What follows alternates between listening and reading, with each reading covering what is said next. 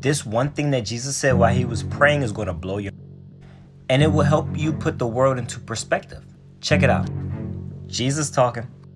At that time, Jesus answered and said, I thank thee, O Father, Lord of heaven and earth, because thou hast hid these things from the wise and prudent and hast revealed them unto babes.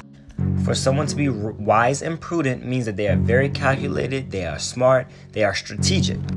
And Jesus says that the Father hid these things from those people that are very strategic, calculated, those wise and prudent, but have revealed them unto the babes.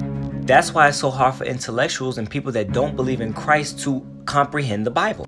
Because the wisdom in the Bible is hidden from those that are wise and prudent. And wise and prudent within their own strength, not wise from the Holy Spirit. So they think they're so smart trying to disprove the Bible when no, it's hidden from them.